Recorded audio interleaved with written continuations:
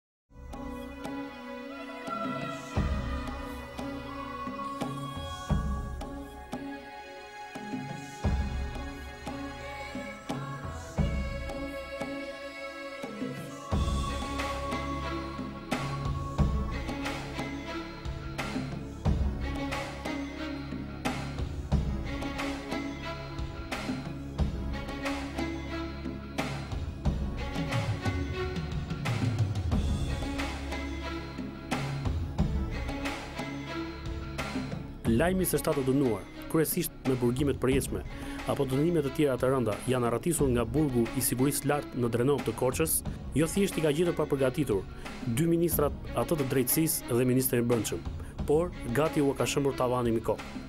Nuk bëhej fjalë thjesht për një arratisje spektakolare të shtatë të dënuarve. pjesa më e madhe e të cilëve kishin dhënë edhe më parë sinjale, jo thjesht se do tentonin sërish të arratiseshin, por për faktin se kishin ngritur dorën dhe kishin shkaktuar viktima mes uniformave blu. Tashmë nuk bëhej fjalë vetëm për një arratisje, por bëhej fjalë për një grup personash prej shtatë vetash, pjesa dërrmuese e tyre të armatosur, të cilët në çdo moment mund të kërcënonin jo vetëm jetën e forcave të rendit, por edhe jetën e qytetarëve të pafajshëm, të cilët mund t'i hasnin rastësisht ata gjatë lëvizjes nëpër territorin e vendit.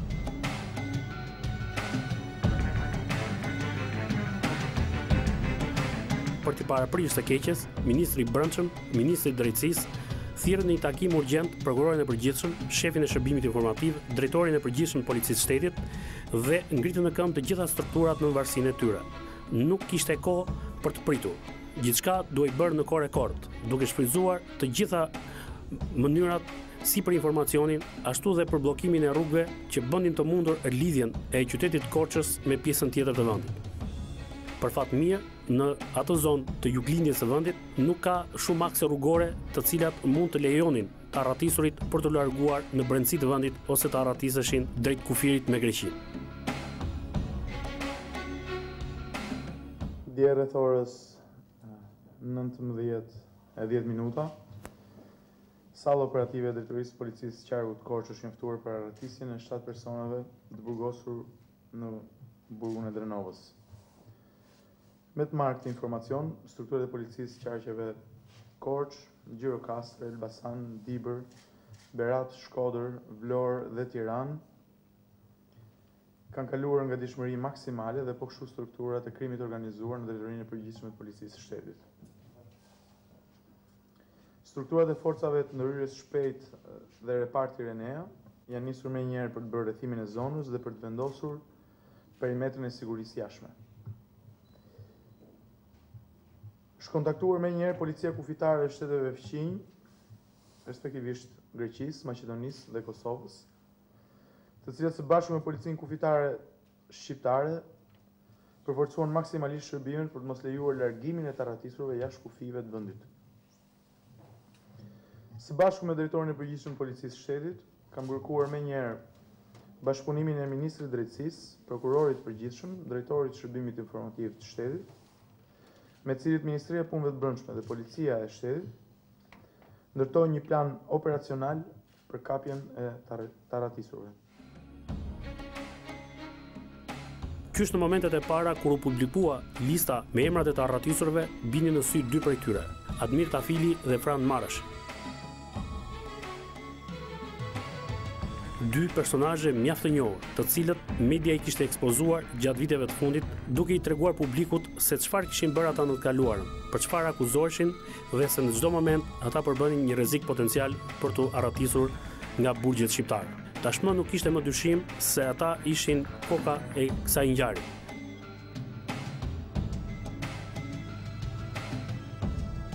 Datë 23.11.2013, rreth orës 18.55 minuta, në institucionin e ekzekutimit të vendimeve penale në Drenovë të qytetit të Korçës, Janë arratisur të dënuarit Admir Tafili me burgim të përjetshëm, Fran Marashi me burgim të përjetshëm, Gëzim Guri me burgim të përjetshëm, Gëzim Toma, dymbëdhjetë vjet burgim, Reis Haxhiraj, trembëdhjetë vjet burgim, Eduart Lula, njëzet e pesë vjet burgim dhe Artur Gora.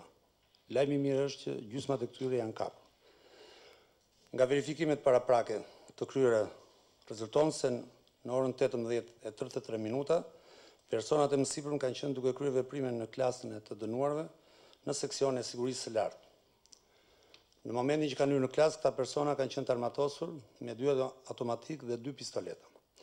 Duke përfituar nga shkelja e skemës së sigurisë së punonjësve të policisë, përgjegjës për garantimin e saj, pasi kanë marrë peng punonjësit e policisë kanë mundur të arratisen nga ky institucion. Pasi ka dalë nga zona e sigurisë, regjimi i brendshëm, nën kërcënimin e armëve, kanë prerë rrjetën e rrethimit të jashtëm dhe në bashkëpunim me persona të tjerë jashtë burgut kanë mundur të largohen.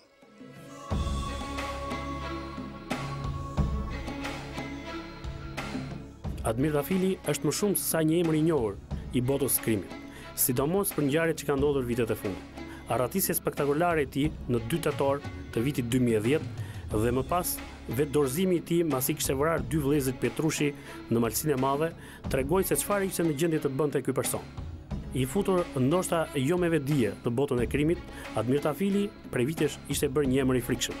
Jo thjesht për faktin se kishte guxuar t'i bënte pritë ish-shefit të krimeve të komisariatit të Malësisë së Madhe, por edhe për rrugën që kishte ndjekur mbas asaj ngjarje. Ai ishte akuzuar për rrëmbime biznesmenësh, për vendosje gjobësh, Por, padyshim ngjarja që e bëri atë më të njohur dhe i dha imazhin e një vrasësi të frikshëm është ngjarja e 18 marsit 2011. Admir Tafilit iu deshën jo pak, por 5 muaj e gjysëm që të përgatiste hakmarrjen e tij. Ai ishte i vendosur për ta bërë një gjë të tillë, vendim të cilin e kishte marrë menjëherë mbasi mësoi se babai i tij Bari Tafili ishte ekzekutuar në rrethana të dyshimta gjatë operacionit për arrestimin e tij kishte mbetur i vrarë ish drejtori i policisë së Shkodrës, dëshmori i atdheut Arben Zylyftari. Simbas informacionit që ia kishte dhënë i vëllai i tij, Genci Tafili i pranishëm në momentin kur i ati mbeti i vrarë, Admiri kishte mësuar se babai i tij ishte ekzekutuar nga policia mbasi ishte dorëzuar dhe mbasi duart e tij kishin qenë të lidhura me pranga. Kaq kishte mjaftuar që Admir Tafili të betohej se do të hakmerrej për vrasjen e babait. pavarësisht kostos të cilën do duhej të pagonte ai dhe familja e tij në të ardhmen. Shyqyr kunati jem asht gjallë. Ai e ka pa ngjarjen, ai e din komplet historinë. Ai a kenë mësy në te kur ia ka vra t'jatin dorëzum. E ka thanë qi dorzoju edhe e ka vra t'lidhun e dorzum.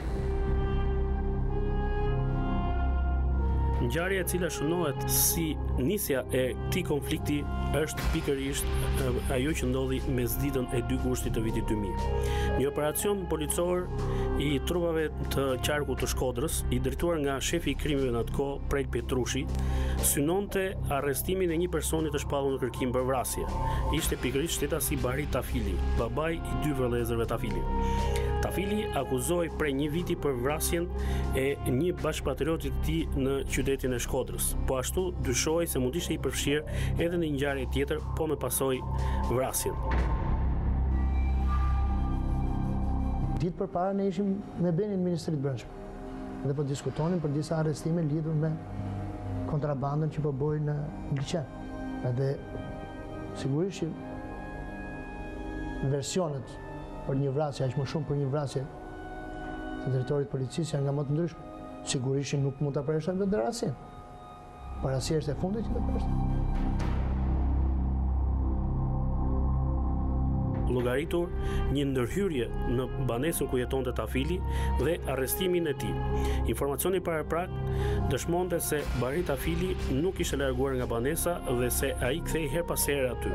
Pikërisht duke shfrytëzuar këtë informacion, policia e Shkodrës, sidomos sektori i policisë kriminale, hartoi planin e masave dhe bëri rrethimin e Bahri Tafilit në banesën e tij. Atë mesditë në banesë ndodhej dhe djali tjetër i tij, Genc Tafili. Oficerët e policisë kuptuan që ai nuk do pranonte të dorëzohej paqësisht. Në këto kushte u kërkua ndërhyrja e drejtorit të policisë së Shkodrës Arben Zylyftari në mënyrë që ai të ishte prezent dhe të jepte orientimin e vet për drejtimet e mëtejshme të këtij operacioni. Policia kriminale e mbështetur dhe nga uniformat e rendit kishte mbyllur në rrethim personin e kërkuar Bahri Tafili dhe djalin e tij. Dhe nga informacioni paraprak, dyshohej se Bahri Tafili do të hapte zjarr kundër policisë dhe nuk do të dorëzohej pa bërë rezistencë.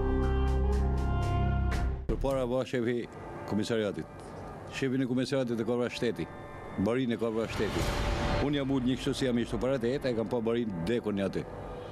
Pushkën e kishte sa njatje dhe tjetrën sa njatje. Të të dy i ka vra shteti.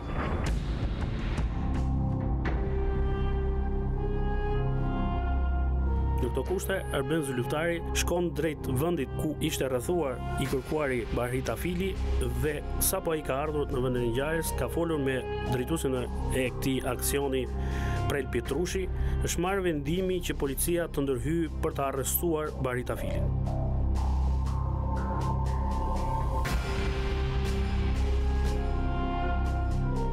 Burri ishte i dorat, tuj pushu, fëmija ishin ratë tanë të më hanë të përshimë. Se nuk se lanë, nuse djalit jashtë i la do rroba, se fogonët. Çohet na thotë erdhën makinat e policisë, se ça është nuk e di, veç, veç kur i pa me Prel Pjetrush, me Astrit Veshtin, e me shokët e vet, Ishin hedhë për maje derës djalit, edhe kur i pamë në fund shkallës. Kurse Bahria u çu, doli tu në koridor i pa tu në fund shkallës. Të dojshin me kap pa kapshin, qe me thanë. Se Bahria ishte pronar në Shirokë, i ujit Shirokë, e përditë ishte në punë. Kurse at ditë ishte në livadh tu punu, u kthyne në bashkë në hanë mesditë, ardhën e pushuen. Ardhën policia na rrethoi. E lanën të më hanë, nuk i banë në zahë, e kalaj. Një ka panë që atë në fund të koridorit. Në maje shpijet, e kalaj ka oborri e imit, o hapë në bërë qekës. Aty e pa si ishte i rrethum, me Gentin, u futën bërë kalit. S'kishin ka me shku. Gentin e kanë marrë se pështan Nuk i ka thonë me ne kuj, të djalin. Djali ka shku më zbapë, së normal. Kurse Bahrin e kanë vra dhe e kanë shty me kamë. Këtë që e ka vra, ka shty me kamë, mi hedhë në barret. As mi kapë me dorë, po mi shty me kamë. Kam ka nënë. Më tha mua dënë gja, më tha që më nëpë një në nërpë, më tha më se kam kuj që i tha që ta muaj kujtim. Kështu ka kënë tanë muhabeti. 200 policë kanë ardhë. Me snajpera. Nëpër majë tarracave, u thu se janë tu vra Hamit Matjanin që ka tradhtu shtetin. Por jo si ka ba gjaku i se ka kanë të ba kocët e peshkut dhe dhinë livadi. Vrasin Bahrin, vrasin e drejtorin e policisë. Është hapur zjarr nga disa drejtime mbi banesën ku gjendej i strehuar Bahri Tafili. Gjatë këtij shkëmbimi zjarri, në rrethana të cilat nuk janë sqaruar asnjëherë qartësisht Qartësisht, gjeti vdekjen dëshmori i atdheut, kolonel Arben Zylyftari. Mbas vrasjes së drejtorit të policisë, Bahri Tafili e ka parë se nuk ka patur shpëtim në këtë ngjarje dhe se jeta jo vetëm e tij, por edhe të birit vjen në rrezik. Në këto kushte ai ka tentuar të përfitojë sa të jetë e mundur, së paku të shpëtojë jetën e vet dhe djalit të tij, edhe nëse do t'i duhej ta kalonte gjithë pjesën e mbetur të jetës në burgim të përjetshëm. Por ndërsa Bahri Tafili me duart lart është nisur drejt trupave të policisë për t'u dorëzuar, ai është qëlluar mbas shpine dhe ka gjetur vdekjen. Simbas procesverbalit të hartuar nga policia e Shkodrës, Bahri Tafili ka gjetur vdekjen gjatë shkëmbimit të zjarrit me trupat e policisë. Pra gjatë shkëmbimit të zjarrit në stencë të trupave të policisë. Ndërkohë, djali i tij që pretendon ta ketë parë skenën e vrasjes, thotë se ai u qëllua mbas shpine me breshëri dhe gjeti vdekjen nga një prej drejtuesve të operacionit të policisë. Më vonë, Genc Tafili do të identifikonte dhe fajësonte si autor të këtij krimi shefin e krimeve të Shkodrës, Prel Pjetrushi.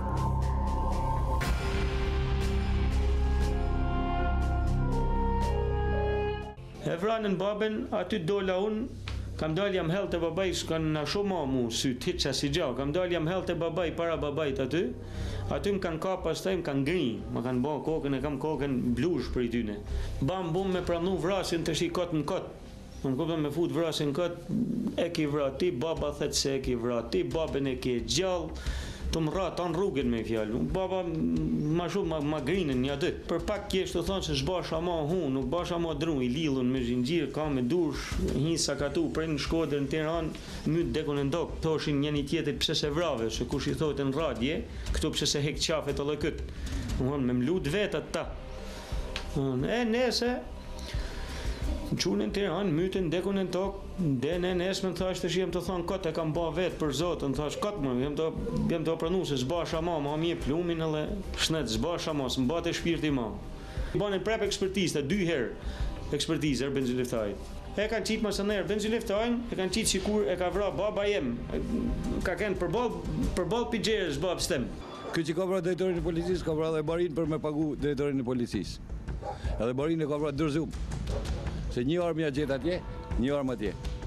Kam kenun kur â bo ekspertiza. Unë kam hi pari këtu ndër civila, kam hi pari. Kanë dalë atë te dera, janë fut n'barakë, n'barakë e kanë gjujt Bahrin. Ka dalë Bahria se i kanë thanë, del jashtë, n'besë je, E kanë vra në besë.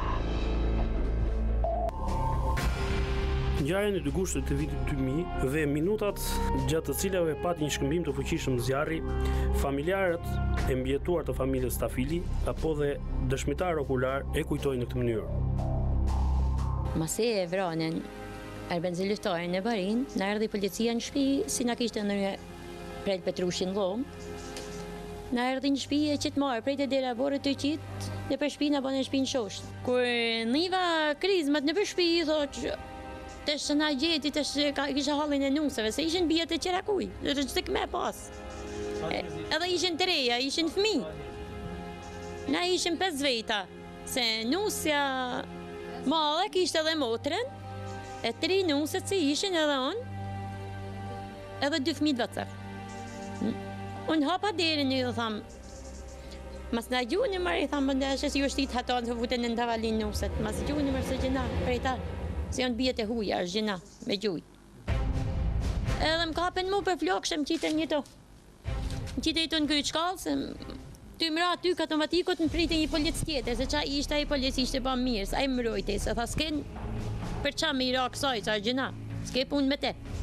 Edhe më morën e më futën në nënë nëpër baraka, dojshin me më gju prep me më futën nëpër aso, prep ky polici nuk më lshote doret ky, ty ma i qëtu afër. Kur sa ta qitë prep jashtë, shpinë e kanë në kurë, më kanë marë mu, më kanë gju polici, shpia ka kanë mush plot fishekë. Plagët e konstatuar në trupin e Bahri Tafilit sipas aktit ekspertimit mjekoligjor, sipas këqyrjes kufomës, dilin nga 15 cm deri në 8.5 cm. Në një kohë që plagët normale që shkaktohen nga automatiku model 56 ose kallashi që përdoret zakonisht, e kanë nga 0.9 cm deri në 1.5 cm plagët normale. Pra duke Që në momentin e parë dukej si një ekzekutim nga distancë shumë e afërt, që do të thotë dyshimi i parë, të shkon mendja për të hequr qafë një dëshmitar okular, e dyta për pasion apo zemërim të çastit të punonjësve të policisë. Por gjithsesi një tejkalim i jashtëzakonshëm. Kam kërku me pas gishtun baba jem edhe un, un du burg përjetshëm un du vetëm drejtësi burg përjetshëm vetëm të kemi gisht në kët vrasje un un du burg përjetshëm ja njëzet vjet po du burg përjetshëm un kam kërku gjithmon bahet ekspertiza taman Arben Zylyftarit zhvarroset edhe i her kufoma Arben Zylyftarit bahet ekspertiza edhe i her e tija. Se s'ka ardhë prej nesh. Bahet edhe i her ekspertiza e tij. Policia e Shkodrës pretendoi se ajo kishte kryer të gjitha procedurat për t'i dhënë mundësinë personit të shpallur në kërkim Bahri Tafili dhe djalit të tij Genc Tafili që të dorëzoheshin, pasi në të kundërt do t'i nënshtroheshin forcës së ligjit. Gjatë procesverbalit dhe ekspertizës së bërë nga policia e Shkodrës, rezultoi se Bahri Tafili ishte vrarë në shkëmbim zjarri me policinë, ndërsa djali i vet, Genc Tafili pretendon të kundërtën.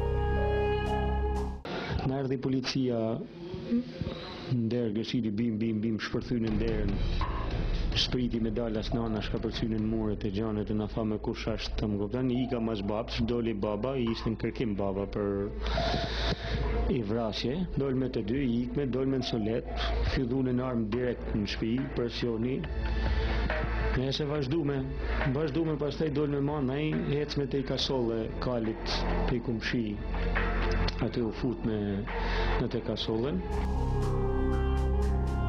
Dyshime në lidhje me rrethanat që gjetën vdekjen drejtori i policisë dëshmori i atdheut Arben Zylyftari dhe po ashtu personi në kërkim Bahri Tafili kanë paraqitur edhe ekspertë që janë marrë me hetimin e kësaj ngjarje.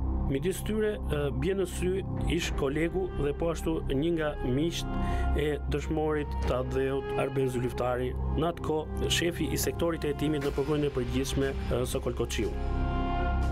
Procesverbalet i kish bërë një oficer që kish qenë protagonist në ngjarje, ishte pjesë e ngjarjes. Që duhej pyetur si dëshmitar në ngjarje. Ai kishte bërë këqyrjen e vendngjarjes, sekuestrimet, procesverbalet dhe sekuestrimet e provave dhe të gjithë. Që nga ky moment, e kuptova që diçka nuk funksionon. Sepse i pari që duhet të ishte në vendngjarje, ishe vra drejtori i policisë. Ishe vra shteti, ishe godit shteti. Dhe aty, të gjitha procesverbalet duhet të ishin bërë nga prokurorët. Policia nuk ishte po. Akoma nuk di se ishte pjesë e veprimtarisë kriminale, vrasja, apo ishte pjesë e vrasjes nga forcat e policisë. Nuk di akoma as këtë. Kështu që nga ky moment, vendosa që të shkoj vetë në Shkodër. U nisa dhe rrugës, para se të nisesha i telefonova një shokut tim që të më priste përpara se të hyja në Shkodër. Që të dija gjendjen se si Se çfarë bëhet në polici. Pse e kërkoja këtë? E kërkoja këtë sepse në dosje nuk gjeje absolutisht asnjë plan masash. Për të gjitha lëvizjet e forcave të policisë, dy grupe policie ishin tërhequr nga qyteti, për të kryer këtë aksion, për të shkuar për të arrestuar Bahri Tafilin, kanë shkuar, janë marrë dhe dy grupe që janë hequr nga shërbimet e qytetit.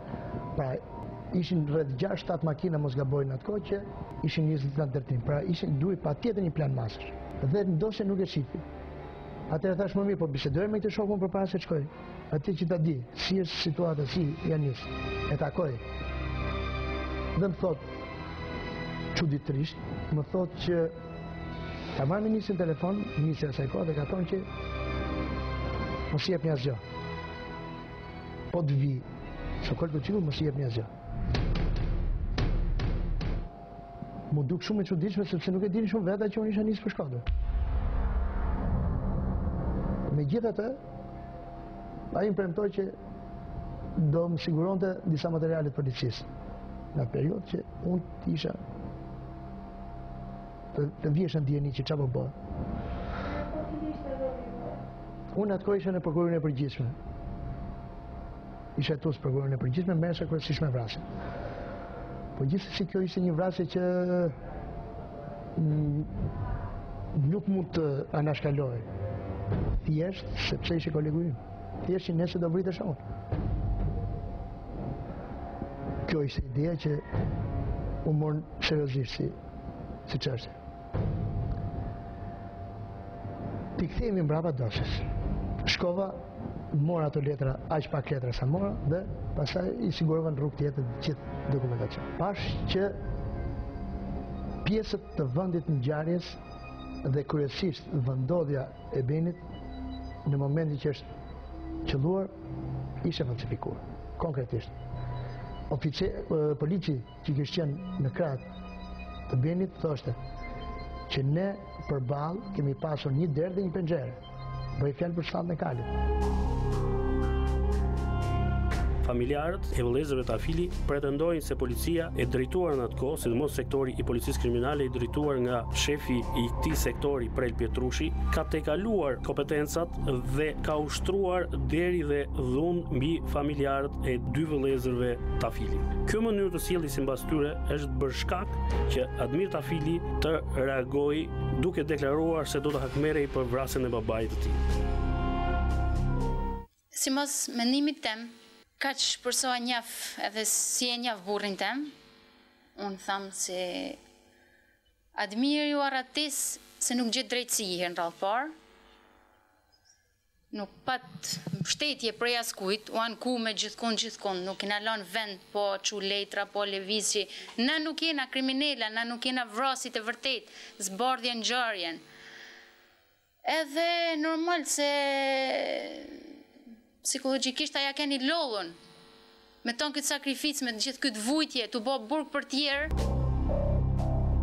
Në orët e para të datës dy tetor të vitit dy mijë e dhjetë, një eskortë e policisë së burgjeve transportoi me mjete të blinduara drejt qytetit të Shkodrës dy vëllezërit Tafili. Leja e dhënë nga autoritetet e drejtorisë së burgjeve niste në orën 09 të mëngjesit dhe përfundonte në orën 18:00 të pasdites së datës 2 tetor. Gjatë kësaj kohe, ndërsa dy vëllezërit Tafili takoheshin dhe çmalleshin me gratë, nënën dhe fëmijët e tyre, Admir Tafili vuri në zbatim planin e tij. Duket pak sa e çuditshme, por në rrethana të cilat janë në hetim nga prokuroria, ai arriti të largohej para në sy e policëve të shoqërimit të burgut të Shënkollit. Pavarësisht planit të masave që ishte marrë për të siguruar jo vetëm lëvizjen e tyre, por edhe qëndrimin në banesë, me qëllimin final kthimin e tyre në qelitë e burgut për të përfunduar vuajtjen e dënimit, Admir Tafili ia doli mbanë të largohej pa lënë gjurmë.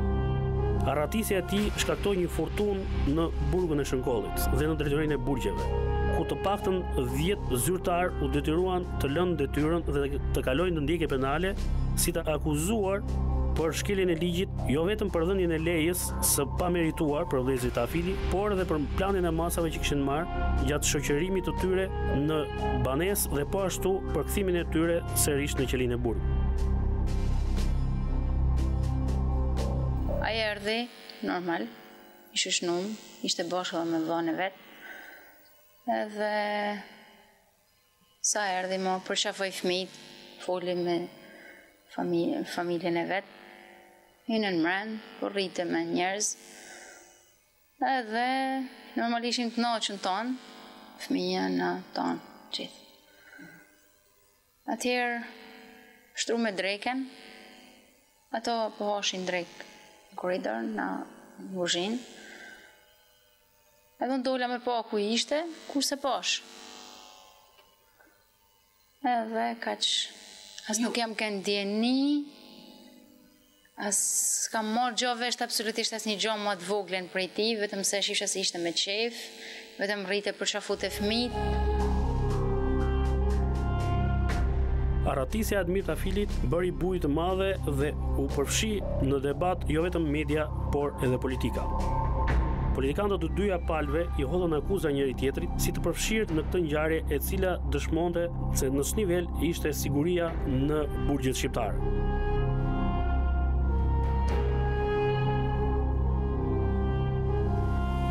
Operacionet e kërkimit që u morën nga policia e Shkodrës, nga forcat e ndërhyrjes së shpejtë edhe nga reparti Renea për të bërë të mundur identifikimin e bazës ku strehohej Admir Tafili dhe më pas arrestimin e tij nuk dhanë rezultat. Tentativat e njëpasnjëshme të policisë kriminale dhe të forcave Renea në zonën e Shkodrës, ku dyshohej se mund të strehohej Admir Tafili, edhe pse informacioni në disa raste ishte i saktë, nuk bënë të mundur arrestimin e tij. Admir Tafili rezultonte që kishte informacione të detajuara dhe sapo policia nisej në drejtim të bazës ku strehohej ai, Admiri ia dilte mbanë që të largohej pa rënë në duart e policisë. Gjatë kohës që ai qëndroi në liri, u përpoq të çonte lajm dhe të hynte në kontakte me Prel Pjetrushin, njeriun të cilin Admir Tafili e akuzonte si vrasësin e babait të tij. Madje, Admir Tafili në një deklaratë që ka bërë mbas arrestimit nga forcat speciale tha publikisht se i kishte telefonuar Prel Pjetrushit të kthehej nga Amerika dhe të diskutonin të dy, të sqaronin një herë e mirë çfarë kishte ndodhur mesditën e 2 gushtit të vitit 2000 dhe në ç'rrethana ishte vrarë babai i tij Bahri Tafili. Por ai nuk mund të priste pa fund kthimin e Prel Pjetrushit dhe kur i humbi shpresat se Prel Pjetrushi do të kthehej në Shqipëri, atëherë ai vendosi të hakmerrej sipas asaj që e quajti tradita zakonore e kanunit. Mëngjesin e 18 marsit, gati 4 muaj e gjysëm nga dita që ishte arratisur, Admir Tafili kishte zënë pritë para banesës së familjes Pjetrushi në fshatin Grut, që ndodhet në komunën Rrethina të rrethit të Shkodrës. Sapo dy vëllezërit e Prel Pjetrushit, Gjovalin dhe Nikolin Pjetrushi, dolën nga banesa e tyre, drejt makinës në të cilën ata udhëtonin është hapur zjarr me breshëri kallashnikovi.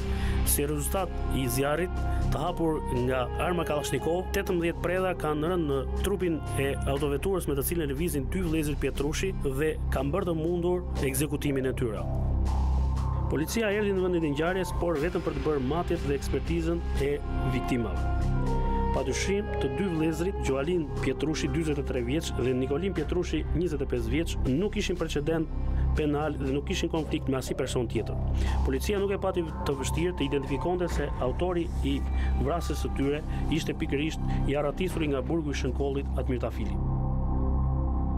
Vrasja e dyfishtë shkaktoi një alarm të përgjithshëm dhe kaloi në gjendje të lartë gatishmërie jo vetëm forcat e policisë së Shkodrës, por vuri në lëvizje forcat e ndërhyrjes së shpejtë dhe nisi me urgjencë në drejtim të veriut të vendit edhe trupat e repartit Renea. Tafili tashmë ishte i lirë dhe i çliruar shpirtërisht për betimin që kishte bërë mbi varrin e babait të tij. Edhe pse nuk kishte ekzekutuar atë që ai cilësonte si vrasësin e Bahri Tafilit, ai kishte arritur të godiste dy nga vëllezërit e Prel Pjetrushit.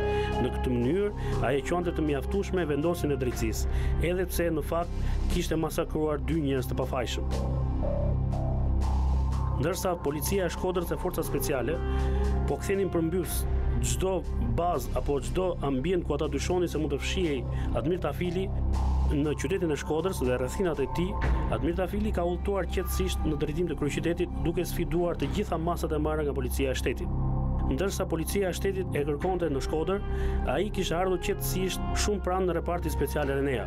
Ishte ulur në, në një lokal me emrin Dardha në zonën e kinostudios dhe nuk dihet në ç'rrethana i çoi informacion policisë për vendndodhjen e tij dhe se ishte gati të dorëzohej pa bërë rezistencë. Në fakt reparti Renea mezi arriti të bënte gati një grup të gatshëm i cili ndodhej në në repart, pasi pjesa tjetër e tij ndodhej e gjitha në operacion në rrethin e Shkodrës për të kapur Admir Tafilin. Çuditërisht, njeriu që ata po e kërkonin në veri të vendit, u kishte ardhur mu te dera e repartit. madje duke pirë një kafe qetësisht dhe me pistoletë në brez, të cilën edhe pse e kishte me fyshek në gojë, as mori guximin që ta prekte me dorë dhe të hapte zjarr ndaj forcave Renea.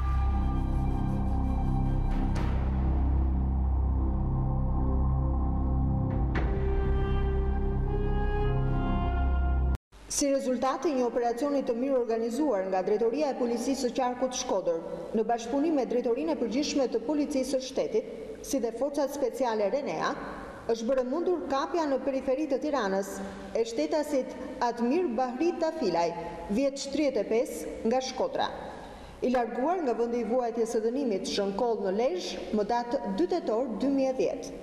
Ky shtetas, nga hetimet e deritanishme, rezulton të jetë autori i dyshuar i vrasjes së dyfishtë të ndodhur sot rreth orës shtatë e dhjetë minuta në fshatin Grudë, komuna Rrethina Shkodër, ku mbetën të vrarë shtetasit Nik Pjetrushi, njëzet e tre vjeç, dhe Gjovalin Pjetrushi, njëzet e pesë vjeç. Operacioni për kapjen e shtetasit Admir Tafilaj është konkluduar me sukses rreth orës tetëmbëdhjetë e pesëmbëdhjetë minuta të ditës së sotme, pas kërkimeve intensive të kryera nga shërbimet e Policisë së Qarkut Shkodër dhe forcat RENEA, si dhe në sajë të informacioneve të sakta të grumbulluara nga strukturat e Policisë. Në momentin e kapjes së këtij shtetasi është gjetur dhe sekuestruar një armë zjarri pistoletë tip TT, e cila ishte e mbushur, si dhe katër krehëra me fishekë. Aktualisht nga strukturat e Policisë së Shtetit vazhdon puna për dokumentimin e plotë ligjor të ngjarjes së ndodhur. Në të vërtetë, Policia e Shtetit e paraqiti arrestimin e tij si një sukses të një operacioni të koordinuar mirë, por në fakt Admir Tafili kishte sfiduar haptazi autoritetin e shtetit. Ai jo vetëm ishte arratisur nga burgu, duke i shpëtuar masave të sigurisë, jo vetëm kishte arritur të merrte hak duke ekzekutuar dy vëllezërit Pjetrushi, por ia kishte dalë mbanë të çante rrethimin e policisë së Shkodrës dhe të forcave speciale duke ardhur qetësisht në kryeqytet dhe të dorëzohej para repartit Renea, duke menduar se në tentativën për ta arrestuar ai edhe mund të ekzekutohej nga trupat e policisë.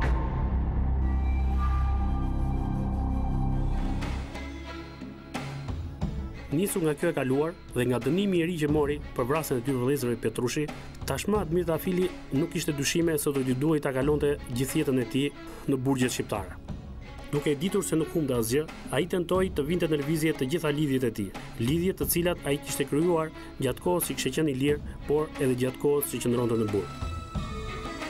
Për këtë, ai shfrytëzoi kontaktet e tij me të njohur që ndodheshin në liri dhe që kishin mundësi të vinin të takonin në burgjet ku ai vuante dënimin. Më konkretisht, nga hetimet e deritanishme ka rezultuar se ai ka kontaktuar për disa herë me radhë me shtetasit Olsion Maçi, Albi Meçani, Dritan Peçani dhe Altin Lami. Ai ka organizuar në bashkëpunim me këta shtetas aksionin për arratisjen nga burgu i sigurisë lartë në Drenovë të Korçës.